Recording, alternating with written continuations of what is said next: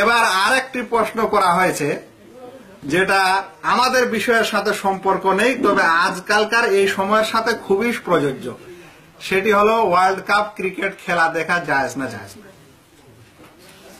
World cup cricket খেলা দেখা জায়েজ না জায়েজ নয়, অনুরূপ যে কোনো খেলা, যে কোনো ওয়ার্ল্ড কাপ হোক আর ছোট কাপ হোক, আর দেশীয় কাপ হোক আর অন্য কিছু।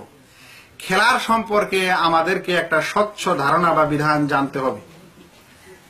আমরা ভাই মুসলিম, আমরা আসলে আল্লাহ রাব্বুল আলমিনের গোলাম।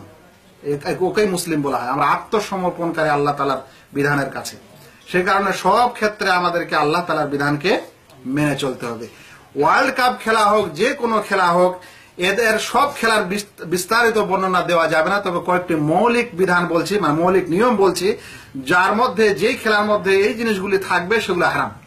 আর যখন থাকবে না এগুলো থেকে মানে বেঁচে থাকবে ওই খেলা তখন সেই খেলা দেখা যায়। এক নম্বর এক নম্বর নীতি হলো এই বিষয়ে যে খেলা যদি পুরুষের হয় তাহলে পুরুষরাই দেখতে পারে। যদি খেলা মহিলার হয় তাহলে যেন পুরুষ না দেখে। আর যদি খেলা মহিলার হয় তো পুরুষ না দেখে, আর পুরুষের খেলা হলে যেন মহিলা না দেখে। যদি এরকম হয় তাহলে ওই খেলা যা কিছু হোক না কেন হারাম। এক নম্বর, যেই খেলা মানুষকে তার ফরজ, ওয়াজেব কাজ থেকে গাফেল করে দেয় ফরজ ওয়াজেব মানে নামাজ পড়া ওয়াজেব না ওয়াজেব না? পিতা মাতার সেবা অনেক সময় ওয়াজেব না ওয়াজেব না। বাড়িতে পিতা মাতা অসুস্থ, ডাক্তারের কাছে নিয়ে যেতে হবে, নিয়ে যাচ্ছে না, ও খেলা দেখছে। আজান হয়েছে, ও নামাজ পড়তে যাচ্ছে না, খেলা দেখছে। এরকম যাবতীয় খেলা। যেই খেলা তাকে ওয়াজেব কাজ থেকে গাফেল করে দেয়, এরকম খেলা দেখা হারাম।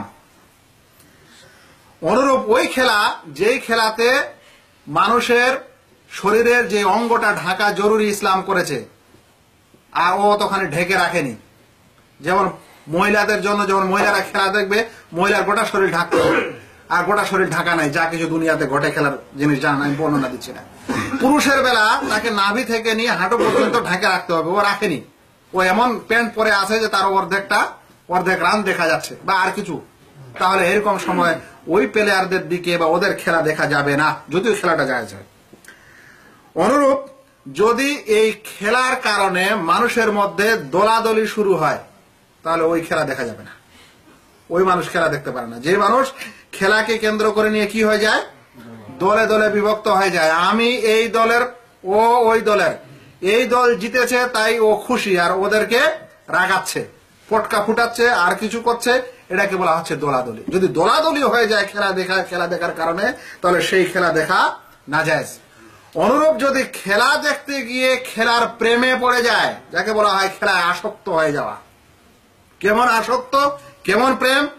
যে আমার কাছে অমুক প্লেয়ারটা ফেভারিট অমুক ফুটবল প্লেয়ার হচ্ছে আমার কাছে হিরো অমুক টিম হচ্ছে আমার কাছে হিরো আর অমুক টিমের অমুক প্লেয়ারটা আমার কাছে হিরো ও যতক্ষণে খেলা না খেলছে ততক্ষণে আমি শান্তি পাচ্ছি না। আর ওকে আমি এত ভালোবাসছি যে এদিকে তো ছাড়ছি, ওয়াজেব কাজ তো ছাড়ছি। ও যেই গেঞ্জিটা পরছে, জার্সি পরছে, আমি ওইটা কিনছি ওর নামের। ও যেভাবে চুল কেটেছে, আমি ওইভাবে কাটছি। তাই অনেক সময় দেখবেন ফুটবলের কিছু প্লেয়ার আছে, মক্র চক্র করে চুল কাটে, চারিদিকে সব ছেটে ছেটে শেষ করে দিয়েছে আর উপরে একটু রেখেছে। দেখবেন কিছু মানুষ ওরকম করে রেখেছে। কেন রেখেছে? কারণ সে তাতে ভক্ত, তার আসক্ত। এটাকে বলা হয় প্রেম। আর এখানে সে এমন আসক্ত হয়ে গেছে যে তার চুল কীভাবে কাটে ওইটা হচ্ছে তকলিদ করে, ওইরকম অনুসরণ করে। এবং ও যা পরে সেটা সে পরে। ও যা খায়, ওটা সে ওটা সে খায়। ও যদি হেরে যায় তাহলে কাঁদে। আর ও যদি জিতে তাহলে খুব হাসে এবং পাটি দেয়। মনে রাখবেন, এরকম মহব্বত ভালোবাসা অনেক সময় শির্কের পর্যায়ে পৌঁছে যায়। যেখানে কোন পৃথিবীর যে কোনো মানুষের মহব্বত ভালোবাসা যদি আল্লাহ এবং তার রসুলের ভালোবাসার চাইতে বেশি হয়ে যায়, তাহলে ওইটা ওটাকে বলা হয় ভালোবাসার শির্ক। তো এরকম যদি কোনো মানুষ হয়, তাহলে ওই সকল খেলা না যায় ওইরকম সে খেলা খেলা দেখতেও পারে না এবং ওইরকম সে গ্রহণ করতে পারে না। আর ছয় নম্বর কথা হলো, যদি খেলাটা স্বয়ং হারাম হয়, তাহলে ওইটা দেখাও হারাম।